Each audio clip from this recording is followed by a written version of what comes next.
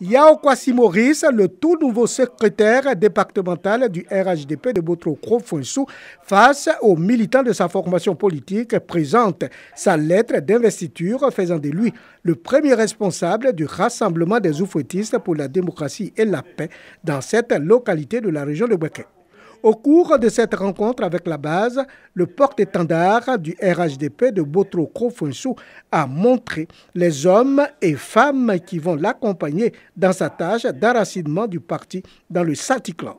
La mission à eux confiée sera de propager sur le terrain politique les idéaux du RHDP fondés sur la Côte d'Ivoire solidaire et le vivre ensemble.